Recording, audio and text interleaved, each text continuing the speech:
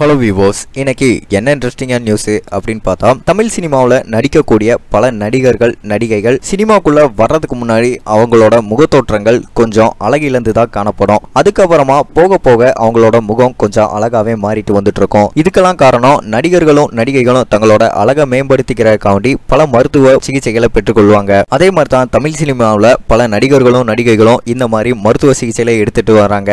அதே மாதிரி இன்னொரு நடிகரும் அவரே மருத்துவ சிகிச்சையும் பல நடிகர்களுக்கு கொடுத்துட்டு வராரு படத்துலையும் நடிச்சிட்டு வராரு. அவர் தான் யாருன்னு பார்த்தா கண்ணா லட்டு தின்ன ஆசையா படத்துல ஹீரோவா நடிச்ச கதாநாயகன் சேது. கண்ணா லட்டு தின்ன ஆசையா அந்த படத்துல சேதுவுக்கு துணையா சந்தானமும் பவர் ஸ்டாரும் நடிச்சிருப்பாங்க. இந்த படம் மிகப்பெரிய ஒரு வெற்றி படமா ஆச்சு. இதன் மூலமா தான் தமிழ் சினிமாவுக்கு சேது அறிமுகமானாரு.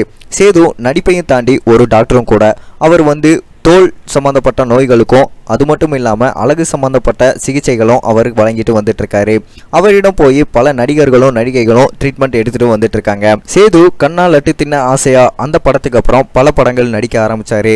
வாலிபராஜா அந்த படத்துலையும் கதாநாயகனா நடிச்சாரு. அதுக்கப்புறம் சக்கப்போடு போடு ராஜா இந்த படத்துல சந்தானம் கதாநாயகனா நடிச்சிருந்தாரு.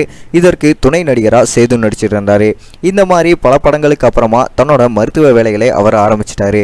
அவரிடம் போய் பல நடிகர்களும் நடிகைகளும் சிகிச்சை பெற்றுட்டு வந்துட்டு இருக்காங்க சமீபத்தில் பாபி சிம்காவும் வெங்கட் பிரபுவும் இவரிடம் மருத்துவ சிகிச்சை பெற்றுட்டு வரதாகவும் அவரோட இன்ஸ்டாகிராம் பேஜில் புகைப்படத்தை வெளியிட்டிருந்தார். அது மட்டும் இல்லாமல் இப்போ சமீபத்தில் நடிகை குஷ்பு இவரிடம் போய் ட்ரீட்மெண்ட் எடுத்துகிட்டு வந்துட்டு இருக்காங்க நடிகை குஷ்புவோட அழகை மேம்படுத்த போகிறதாகவும் அவங்க இன்ஸ்டாகிராம் பேஜில் போட்டிருந்தாங்க.